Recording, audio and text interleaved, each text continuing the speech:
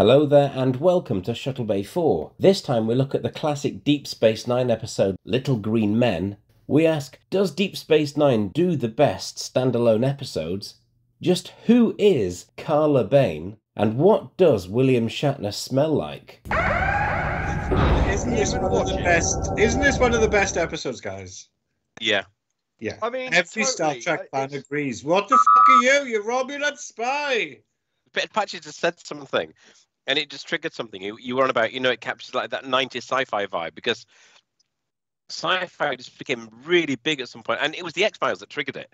Uh, Yeah. The X Files just became massive, and all of a sudden you had loads of other stuff like that. And this actually, I didn't realize it while I was watching it last night, but it has got that kind of X Files vibe to it. It's it's sci-fi, quite serious, but also quite with it with a jokey, entertaining, you know, kind of aspect to it as well. Yeah, yeah. I mean, as as soon as I'll go into it in a bit in a minute, but as soon as you saw the first army officer and he's smoking, there's the smoking man. I mean, come on, that's Mm. Yeah. and and the bigger Yeah. the officer, the bigger the the bigger the bollocks on the guy, the the bigger like the the head honcho, the general, um, Charles Napier, I think he's smoking a cigar. So the bigger the player, the bigger the smoke. That's just tipping its hat to the X Files. I suppose one of the main things I've got to say about this episode is the fact that it does one of the things that Trek does brilliantly, which is um, kind of uh, explore humanity by seeing humanity through non-human eyes. Which I mean, on the Bridge of the Enterprise, it did it all the time with Spock. Um, you know, instead of, I mean, it felt like that the whole reason Spock was there was to analyze humanity by having someone who wasn't human on the bridge and you get a lot of that with this episode because it's Ferengis talking about humans, and it's a. It sounds tough, but I can't think of any other re- episode that where the whole thing is kind of told from a Ferengi point of view.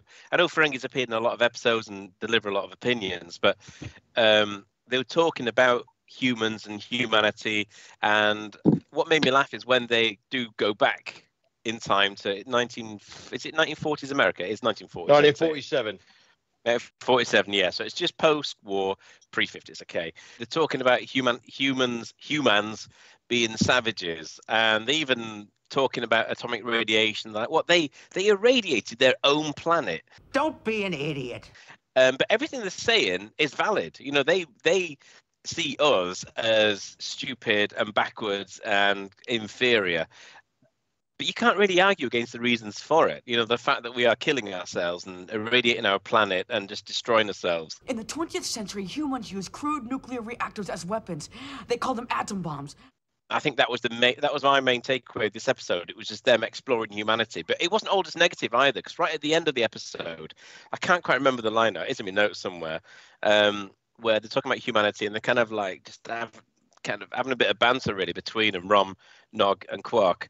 Um, and after talking about some of the our weird foibles, Nog says, um, but, I, "But I really love them." You know, something like that. He says something about humanity, but I love them. Humans are still a bunch of violent savages. Maybe. But I like them. Um, and also this episode, it wasn't all just dark and awful, because you had this aspect where the military were basically um, kind of stereotypical, I suppose, right-wing bastards, and there was a, a hint of of racism in there. You know, there was definitely some analogy with racism because they hate the, that one particular guy who hated the Ferengi, but it was all because of how they look. You know what I mean? Because they're different to us. It wasn't the fact that they were aliens; it's just because they were different, uh, and they treated them like animals, and they referred to them as it. Even though I suppose you can maybe understand that because they're because they're aliens, but um, that that wasn't the reason why he was calling them it. It was to really, and I hate the term dehumanize because they're not human, but you know where I'm coming from when I say that because that sort of language has been used a lot in the past against other um, aspects of humanity, you know, to dehumanize them. But the saving grace was, or the hero of this film uh, episode was that female scientist, and it was a triumph of science because it was science ultimately that um, that thwarted this, you know, this military raid, you know, the, the what the military wanted to do, and basically just exploit them for military technology. In fact, because Quark wants to sell stuff to them, and he, he, turns around and says, "Look, I can sell you um, um, technology that can create food out of thin air, um, and I can." Um, I can give you technology so you can fly amongst the stars and explore new galaxies. And that military guy, the first thing he says is, What about weapons? Weapons? Hey up, Jenny, all right. I like the fact that right at the beginning of the episode, Rom seems genuinely really proud of Nog. I mean, Quark kind of takes the wind out of his sails a bit, but he, he looks like a really proud dad. You know, the fact that his son's off to Starfleet, and uh, I really like that. Um, I also like the fact that Rom and Quark, Rom seems to really dislike Quark. Even suggest him at one stage once he gets his own ship, well, you could um, fly off into the great unknown, never to return. And I thought that was a, a really funny line. I enjoyed that. You could fly off into the great unknown, never to return. I like the fact that Bashir and O'Brien took time to come and see Nog and shake his hand and you know give him a gift. It felt as though that Nog was held in quite high regard on Deep Space Nine, and that was nice to see. Rom really stood out for me in this episode. This episode when he's on the ship, and he's clearly a really good engineer. Clearly a really good engineer. And at one stage, Quark even says, "That blooming heck, you've got some, you've got some brains on you." And he says, "Yeah, well, he goes, I've, I've always had them. I've just never had the self confidence to, you know, to do anything with it." Rom, you're a genius. And I think, particularly within Star Trek fandom, there's probably a lot of people who can really identify with that. People who feel that they've never really been able to exploit the full potential because they lack self confidence.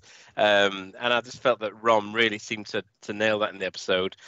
The Universal Translator, the fact that it, it ballsed up, I thought was was brilliant because one of the things you often hear about Star Trek uh, as a criticism is the fact that oh, every time they bump into a new species, you know, they're always speaking English and this, that, and the other. And I thought the fact that the Universal Translator went down was absolutely superb. And what made me laugh was the fact that every time the humans saw the Ferengi, um, the Ferengi looked basically like they were stupid, right? You know, like hitting their heads and everything. But every time the Ferengi saw the humans and couldn't understand them, the humans looked stupid. And it was interesting that once you take that communication away, um, the, the you know both of them just looked completely um, ridiculous we get i'm not sure if we've ever had a reference to ferengi, ferengi heaven and hell before but i thought that was quite interesting. The idea of heaven is somewhere where everyone's really affluent. I can't remember what it's called. I'm sure patches probably remembers. Uh, and the hell is somewhere where divine treasury. the dest yeah so we've got the divine, divine, treasury is heaven yeah. and the vault of eternal destitution being their version of hell. Yeah i really like that. I really like that.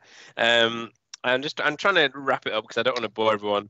Oh, I completely forgot Odo's in this episode, you know. And when Odo appeared, I was like, oh shit, yeah, Odo's in it. Um, and I, I, but I thought Odo played a good part. It wasn't too big a part, which is good. he didn't take away from the Ferengi, but it was in there. Um, but, but, but, but what have I got? I've got most of the notes I've got seem to just mirror what I've said. I know I've kind of rambled a bit, but I thought I thought it was a really good episode.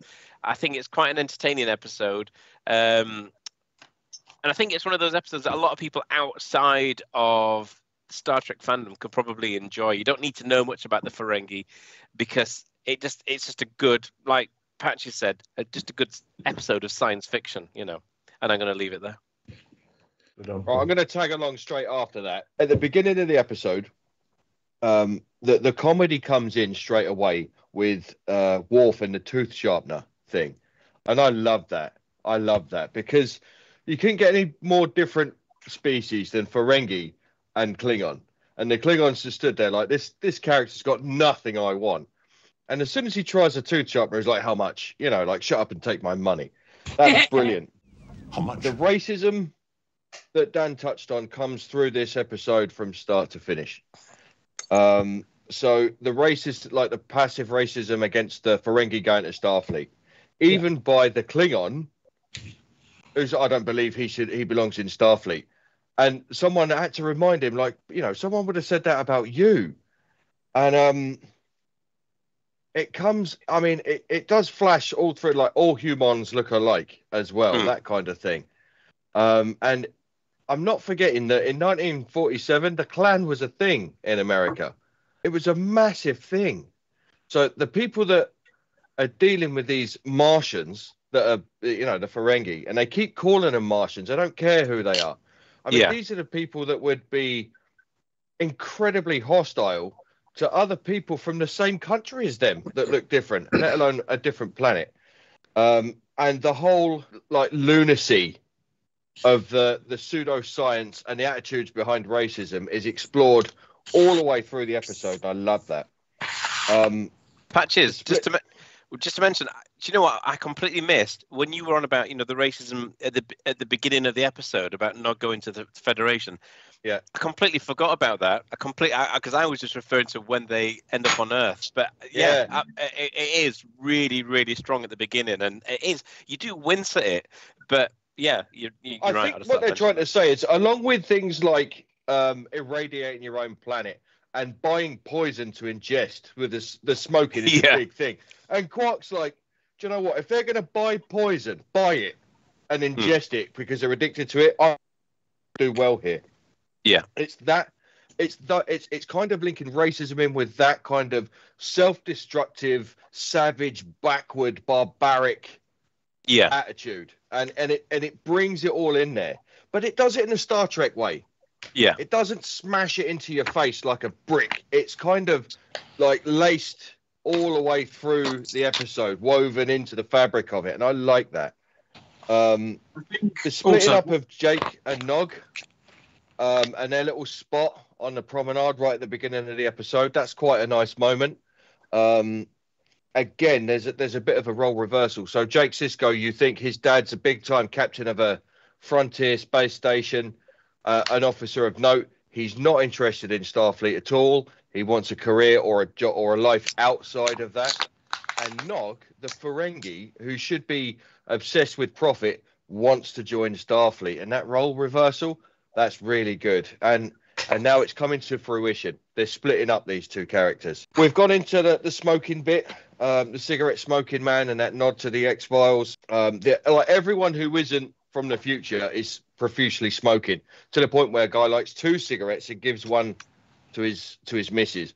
I haven't done that for a very very long time, and it kind of took me back. Um, but the bigger the the bigger the player in the episode, the bigger the smoke, and the general's got the the quintessential, you know, the cigar, um, and it's that that kind of prop runs through to to separate barbarity from modern thinking. This constitutes first contact for the human race as well. So this whole X Files thing with Roswell and the New Mexico thing and Area 51, and it was actually Quark.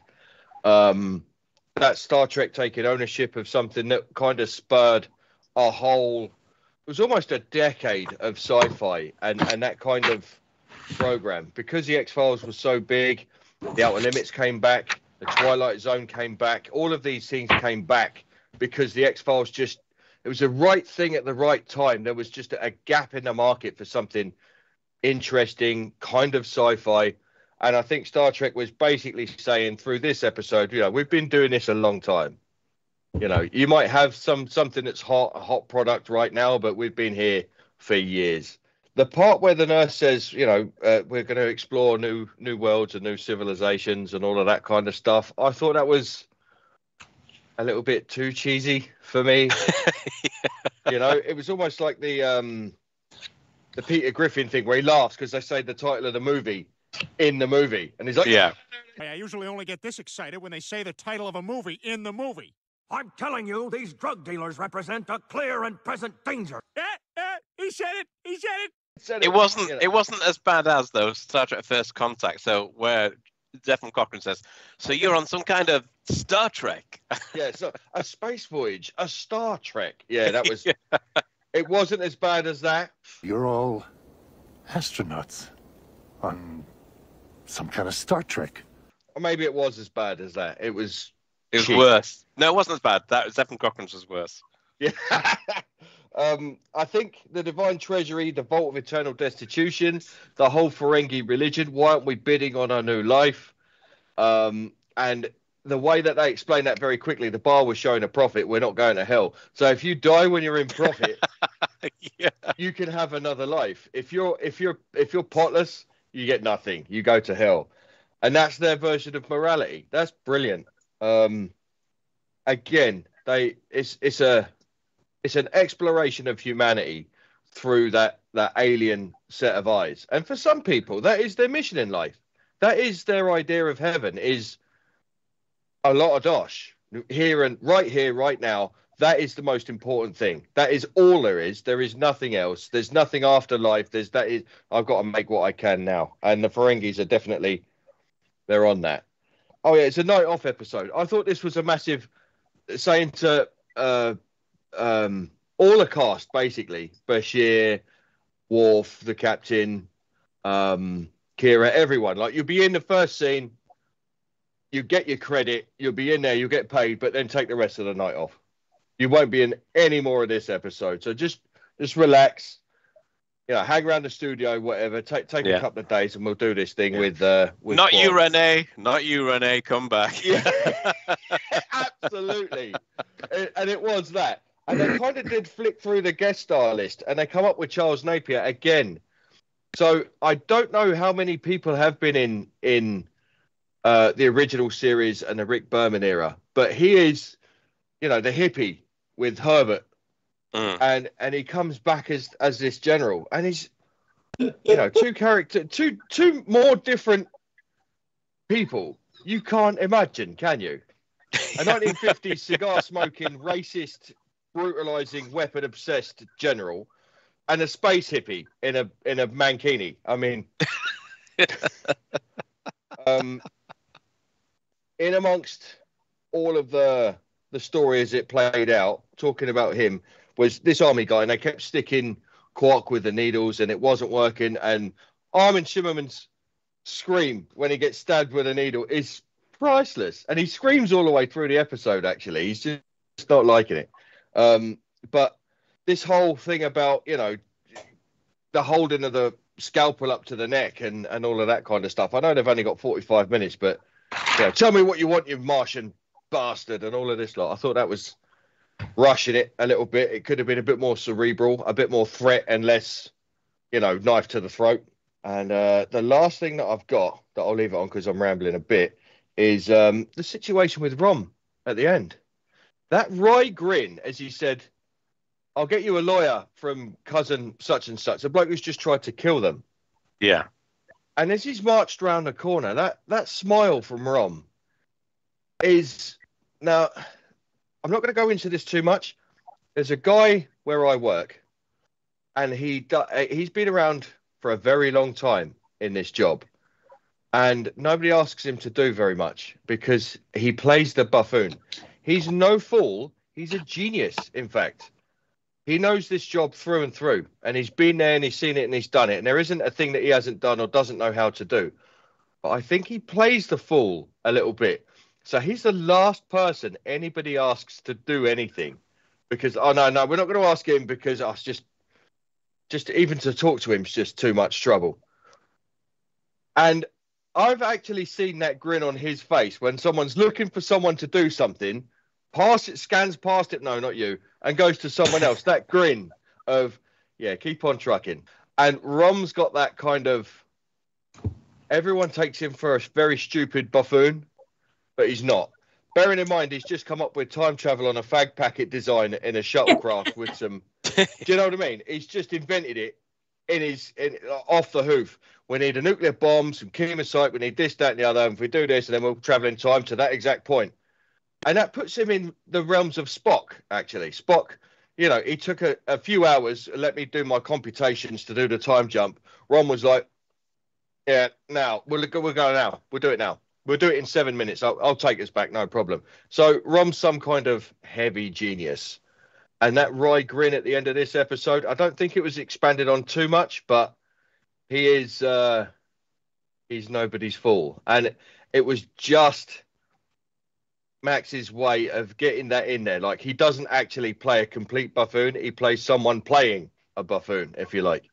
And I like that a lot. Um one of my all-time favorite episodes of Star Trek, for all the reasons that I've said to do with the X Files and the nod to the the sci-fi, the the comedy, real powerhouse performances. Um, real, you know, there's some funny stuff in there with the the universal translator. How does it work? To explain that, they say, well, it's easy when you know how. And I thought, uh, you know, I was just like, oh, come on, that's the only hole, and it's a massive hole in the plot. But it's the way it worked, and it worked out well. And it's a it's a good fun episode. As you say, it doesn't need to. You don't need a Trekkie. You don't need anyone that's followed any of it to get it. And uh, I think uh, anyone, if they can be bothered, would really enjoy the episode.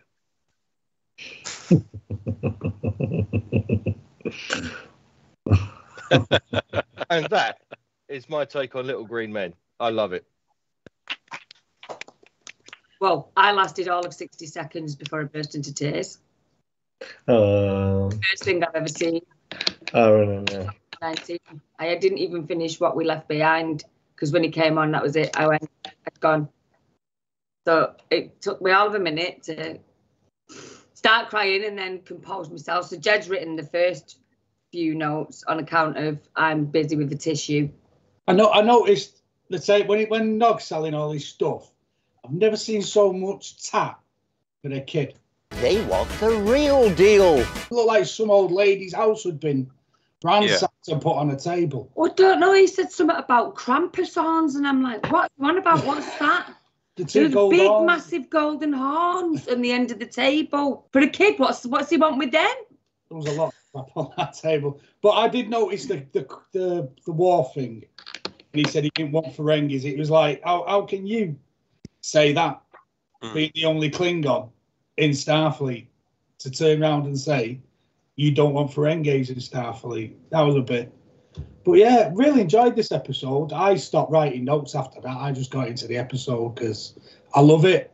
It's just one of them. It's like the, the space hippies. I just thought, Jesus, is one of his relatives is flying around in space in a bikini later. But and he does look a lot different with not bushy hair. Yeah. Yeah. It's difficult to actually, uh, just in your mind, r- just kind of equate both of those characters to the same actor. I know there's obviously a, a few decades between it, but they're just the characters are so different. They look completely different. The only thing that gives it away is kind of like jawline he's got, you know. But yeah, with, with Rom, Rom's the MacGyver of Deep Space Nine. just inventing time travel. Why did I just hear the word? Why did I just say? the word tools? just invented it straight off the bat. Tools. Spock's there doing computations for ages, and he just, yeah, oh, keep us like that, boss. There we go. Yeah. But yeah, I love the episode. Dee forgot old dog was in it. No, I didn't forget Odo was in it. Forgot Odo was in it. I forgot old dog was the dog. Oh, I forgot to take that thing with them. The amount of times I've seen this episode, and I still, when he stood, up, when the dog went, I was going to eat him, and then he turned into Odo. I was like, completely forgot that bit happened. Yeah. Didn't occur to me that the dog was Odo at all because in the beginning, him and Quark are having a chat at the bar, and he's like, "Oh, it's a good idea. You've got Morn to mind the bar. Very trusting of your, You know, whole safe travels, and we'll see you when you get back." So it never occurs to you that he's gone. Nah, you're not going anywhere without me, lad. But yeah, the, the sexism was there as well from that era. Yeah. Well, yeah. Oh, you beautiful angel! Shut up and stand in the corner now. But yeah, I loved it. I always it's one of my favourite. This, Pale Moonlight, and a few of the others. Uh, Yeah. brilliant episodes. I, lo- I love the bit when Nog was in the ship and they were like, "You smuggling kemocite?" And he was like, "Well, I'd like twenty percent." And he was, um, "Okay, and what about you then?" And he goes, "Well, I'm." And his voice changes. If you've noticed, instead of it being Ferengi, it goes all official, and it drops. He's, he he starts talking all official. It's like, well, As a Starfleet cadet, it's my duty to report any violation of Federation law to my superiors immediately. he gets this official Starfleet voice, and then he turns and starts talking. Well, with me ten percent, he's back to his Ferengi Yeah. Tone. Almost confirming the racial stereotype that it was labelled upon him. Like on his way to join Starfleet and live that next chapter of in his life, he's going to be smuggling kemocite on the way for ten percent. Yeah. It's a bit like uh, in like some TV series and some old films. I mean, thankfully, it doesn't really happen now, where you'll get the stereotypical like some like strong Jewish accent to say, you know, and it's just it's awful to watch, you know, when you get people are like meant meant to represent someone who's just obsessed with money or whatever. I think Odo played a very small part in this. He could have been Yeah. a rat in the room and saved Quark from being tortured and stabbed with needles, but he didn't appear for that. And it was again, it was a very 1950s kind of thing where they're talking to the scientist and the nurse outside the hangar where the ship is, and Odo's going. He's just kind of looking out and okay, Quark, let's go. When he said his piece, Yeah, instead of going, wait for him to finish talking rather than just pushing him. Get on with it. He just waits. He's looking. Yeah, apart, yeah, like, literally just ow. pushing his get shut shut up and get in Yeah. there. Just hmm. There was no need for Odo to be in this episode, was there? Really? I mean, you No. could have. He didn't really do anything. I know, obviously, maybe he played a part in it, but you could easily have written him out.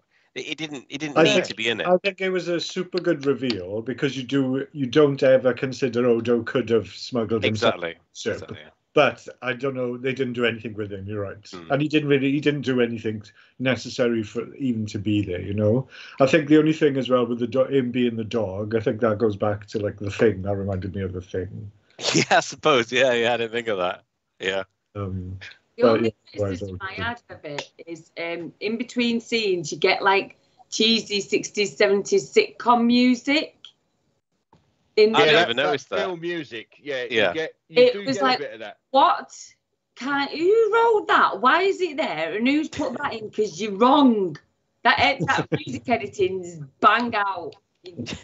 Seth MacFarlane uses a lot of that in Family Guy. That kind of, you know, like between scenes, you get an outside view of the house, like the Golden Girls almost. That Yeah. do do do do, and then zoom into the house for the next skit Yeah, they- like comedy. Sort of Established in being shit. into the next one, but you, where what where's that music come from? Who's decided that that was suitable? Because you're wrong. You're very wrong. Use something else. Anything but that. It just I don't know. It it um it decreases its value for me slightly. Yeah. You think? I think in this episode, if they were, winced at the music. Yeah, if they were really tipping their hat, they'd have had Act One, Act Two, Act Three, epilogue. You know, and they'd have done that all the way through. Um, Invaders. yes! That's one of my favorites Yeah. ever. Is it really? Yeah. Uh, do you know what? Do you know one of the things I hate? Oh, do you remember the Invaders? And everyone looks at you like, "You're talking about?" I love the Invaders. And I'm like, "How could you not know about that?" It's like, that's just that's the genesis of it. That's brilliant. I love, yeah. The Invaders. Sweet, love that, bro. The Invaders. But all in all, it is one of my favourite episodes, and not Yeah. just Scott. See, Steve, I told you. What? Shut up. Are you still here? And you got the best words you've said in about an hour. Well, I knew the moment I opened my mouth, I'd get lambasted anyway. So it just made more sense for you lot to finish dribbling over this episode and move on. do you want to say anything about this episode, Steve? No.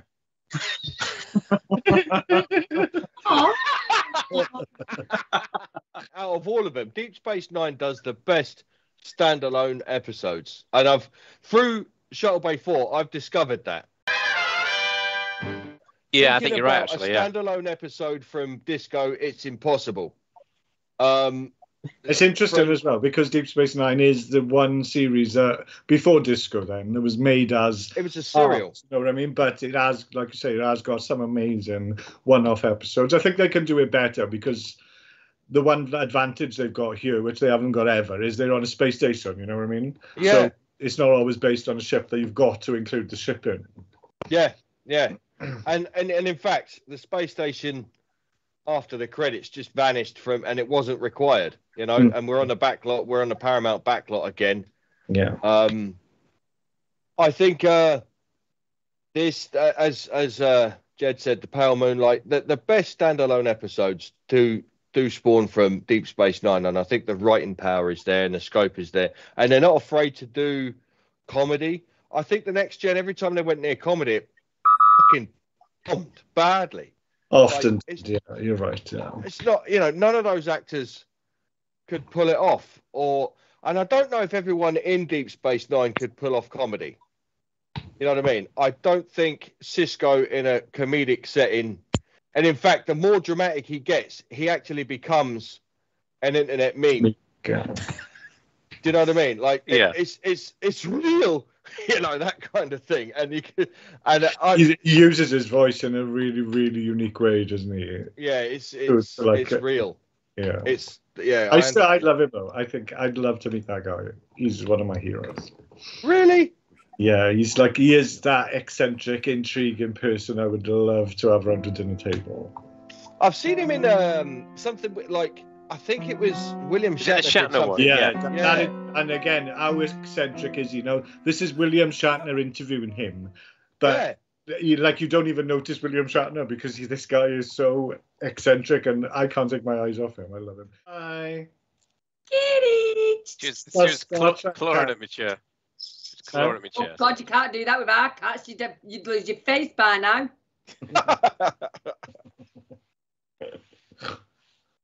God, God, could you imagine trying to do that with Fred? Um, Patches, one thing you said there, which I never really thought about before, is you're on about the fact that uh, in terms of standalone episodes, Deep Space Nine does it better than anyone else. And I'm just wondering, do you think it's because in all the other series, you've almost got the same kind of characters? I mean, if you look at TNG Yeah, straight away, I you can thought the identify. Data's your Spock, right? You've you've kind of got certain personalities that appear in all the series. Whereas with Deep Space Nine, it's completely different. In none of the other series have you've got a Garak character. In no other series have you've got somebody who could literally kill people, right, and just get and still appear in another episode and people still love them.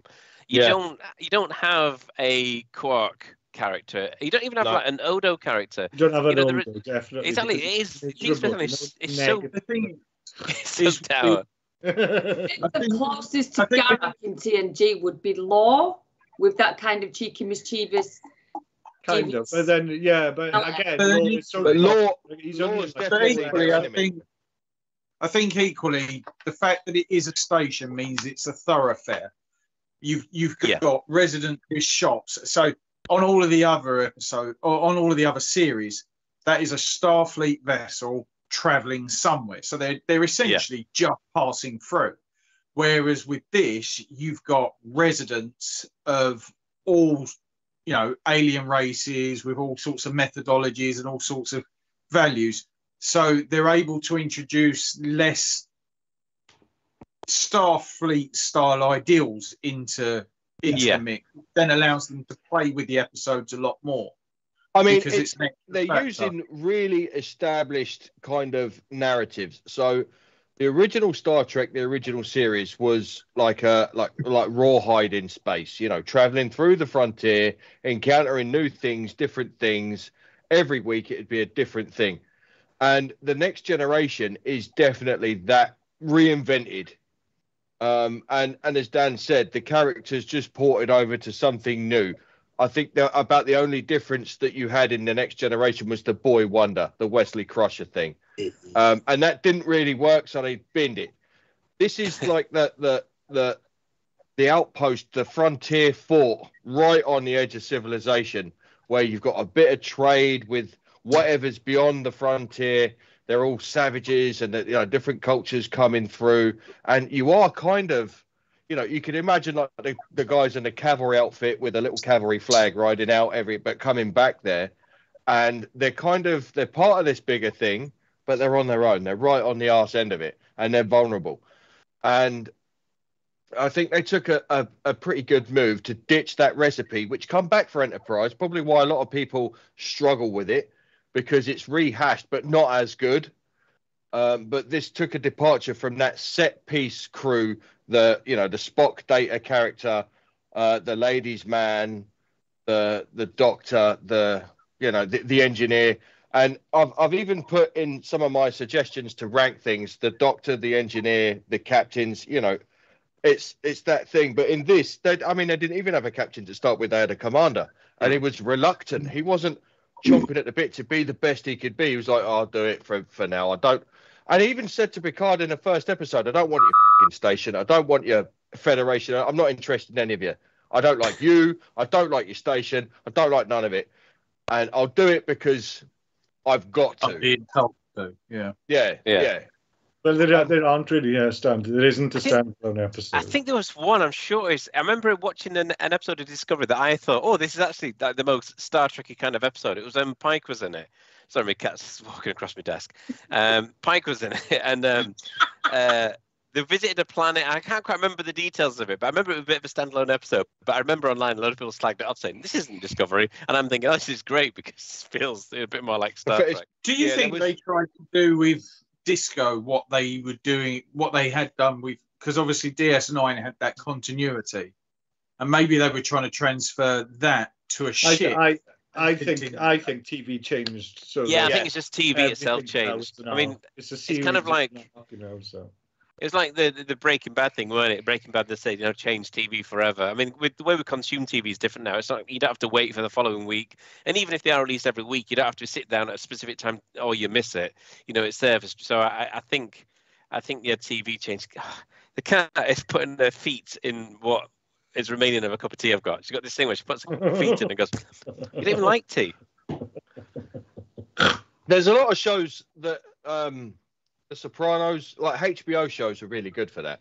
The Sopranos was a binge-worthy show. Um, Breaking Bad was binge-worthy. There was a few really good powerhouse shows that that kind of turned TV into the binge, the box set binge. Yeah. And Netflix really took off buying that catalog and sticking it on their service because people were binging their service on a regular. Um, which is why I don't think we'll ever get back to the 25, 26 episode situation.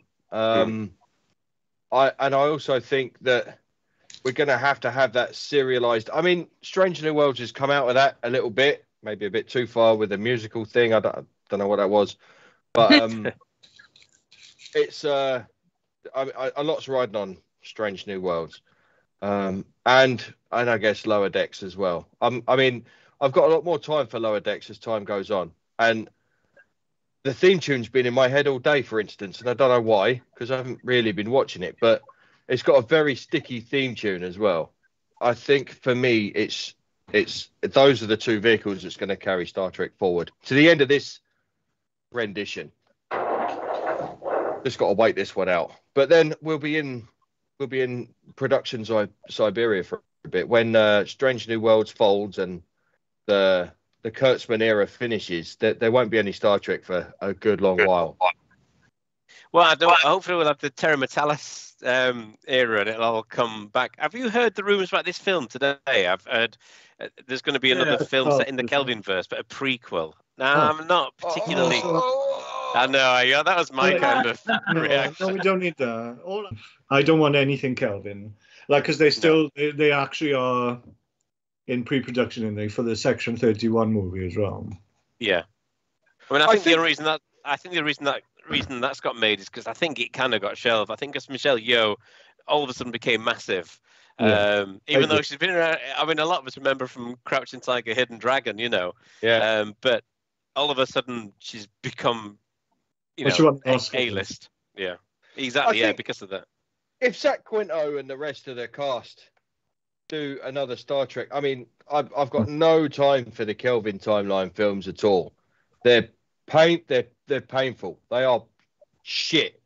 But if they were to do it again, they'd only be doing it for the paycheck, and it would hmm. show on screen. You know, I don't think there's any real passion for the for the franchise from these people. And Zachary Quinto, there is definitely because he attends a lot of conventions. Uh, uh, Karl Urban as well. Karl Urban, Karl Urban. He's he's Carl he's Urban? big into it. What the fuck? What? Color Bain? Karl Urban, yeah, he's Carl Bain? Who's Carl Bain? Is he Russian? Karl Urban then. Um, what's his name? it's Karl Urban, yeah. I'd say Karl Urban as well. I'd take it, not Carl Bain. I'm That's sure his Carl sister. Urban says Karl Urban as well. I've seen him at a con and he's into it. Yeah, he Um, loves it. He does really like it. Yeah, and, I And he, love he is into it, and he's It's into it in that gorgeous, I Anson wanna- Mount kind of way as well. Do you know what I mean? He's like, "Wow, this is amazing." He's we're looking at him as the star, and he's looking at us as the fandom from the stage, going, "Wow, this is brilliant." That's the one Um, thing I love about Star Trek conventions. The amount you don't expect it, and there's certain actors you would never expect it from, but they give you that love. They give you that like, oh my god, I'm amazed that you've turned up and you know that you're all here and you're here for Yeah. me. I, I, Yeah, I love totally. that. Um, I think I, I, I don't know if it'll be a box office flop. What are you pointing at over there? What are you laughing at, you pair of bitches? Yeah, I think they're laughing at, at this thing here that keeps keeps attacking Sorry, the. we're uh, just watching Dan's camera. cam. I've just seen an orb go past his head. An orb. Really, really slow, like yeah, real slow, like in that dimen- that direction. Right, stop it, cat. Down like that. What did you see? An orb. An orb. Oh. yeah, it's not like a light refraction. It, it was a proper circle. D, Oh, it's D- J.J. Abrams. D, you're a, you're a married woman. You shouldn't be looking at my orbs. I'm just pissing my sides at the cat pissing about with your camera. Uh, well, she's, she's sat down now, but she was she's just crawling around. It's because I'm not get, if she can hear me talking but not giving her attention, she starts just getting naughty. And that's what she's just sat down now, bored under my monitor. Anyway, sorry, patches. Oh no, I completely finished with you ridiculing my pronunciation of Karl Urban. Carla, Carla, are you sure it's not Carla Bane? I, I, I, do you know what? I can't wait to meet him and say, "Hey, Carla Bane." You'd be like, And fuck him too. you know? Okay, I didn't. You've covered loads, um, so I'll just go from what I noticed on the episode. I think um, for Nog's character, I love the beginning and the fact he's being sent off to Starfleet, or he's choosing to go to Starfleet. And I think for the for the character, and just as Nog, you know, it's like so brave of him to choose to go and live on Earth, go into the academy. It's like nothing he's ever experienced before in his life, but I think is super brave, and it, it really is like amazing arc for that character. Um, they mention a bit about Quark's cousin Gaila, and I like because they mention as well that uh, Quark had borrowed him the money so that he could set up this. It's like an arms something or other, and I like because that ties into a future episode where, like, Quark loses favor on the station because he starts selling guns. He's using like his holo holodeck to do it, and he, and so I like the tie into that future episode. Um, while they're on Earth. So I, again, there's always, I think, in Star Trek, this is really common theme as well. There's always an emphasis that humans progress so quickly. Like, oh, just in this 400 years, they go from this to this, and there's always, like in all Star Trek, there's always this. Humans are progressing so so quickly, and I'm like, okay, I guess. It's, well, I guess it's a positive outlook, which is what Star Trek's about, and you know, we all hope and aim for this future being a possibility, but it's funny how much that comes up in Star Trek throughout every series. There's always some mention here or there about, oh yeah, in hundred years humans are going to be like you. It's like, yeah, right, well, But there's also the mention of they are savage and bigoted and Well, go, yeah, but that's violent. also that is also emphasising that point because it's like, yeah, we've gone from being savages to having warp drive and being one of the dominant races in this quadrant in this very short space of time. Where they say even Vulcans, you know, they've had fifteen hundred years or whatever it is, and so yeah, there's always that kind of emphasis on that. Um, Quark's realization that humans are stupid is really funny. You can just see it in his face and his mind ticking over, and he's just like, oh, platinum. Um, the nurse. So you've mentioned the nurse and some of her really tropey sayings that she comes out with, which again harks for me harks back to the fifties. These characters, I think, that they've given us, like the guest characters, play their roles really well, but also they like the ultimate tropes of you've got like the really hard nosed general. You've got this his little grunt who's evil, you know, and loves his job. You've got the nurse who's it's always the woman that's like the philosophical one who looks towards the future. Um, and she just reminded me immediately of Edith Keeler. It's like, oh, that's a that's a harkback to Edith Keeler giving her speech about traveling to the stars. Um, Rom Rom cracks me up all the time, but I love because this happens much more often than in this episode. How you only got to look at him and he cracks under pressure and just tells you everything, absolutely everything, and he just types it out really fast as quickly as he can, and he's going to tell you everything right now. and that's one of my like. We're from the future. The warp core is sabotaged. It's all Taylor's fault. I want to go home. I want my Moogie. Moogie. In every episode he does it, it's genius because he is such a good actor, and um, he definitely does it in this episode. They literally look at him and go, "Oh my god, I don't know what happened. We come from the future and we're just here to do this." And it was Odo's turn, I noticed, to do the double fist punch in this episode. That might, that might be Odo's first double fist punch, I'm not sure. Talk amongst yourselves. Well, while you're doing that, Brush, I'm just going to showcase something I mentioned to Patches the other day. Uh, this is a Christmas present, not this year, but about four years ago. Um, if you can see that, this is uh, a, a while ago. They brought out some Star Trek fragrances. There was a female one called Pon Farr, and this one is called James T. Kirk for men, for men and captains. Now there are female captains, so I'm assuming it's maybe a bit unisex. It doesn't smell unisex. It smells very like stereotypically, you know. William Shatner. Yeah, it smells like it smells like Shatner. But this is Oda it, like- Shatner. Oda Shatner. Um, Oh, the womanizer. here we go. And it's actually quite cool because it's in a like a communi- communicator shaped bottle. Oh, look at that. You like it now? Let's give a quick. Oh, there was. There was a quick smell. Oh, it smells like smells like men and captains to me. Ah! I will. I How will many bring, of them have you? I will- I will bring this with me to the convention, and if you want to smell like a man, like a man, like like a man or a captain, I don't mind giving you a quick spray. Giving us a Oh, squirt. wait, shit. That's one way to get rid of the cat. Humans are still a bunch of violent savages. Maybe. But I like them.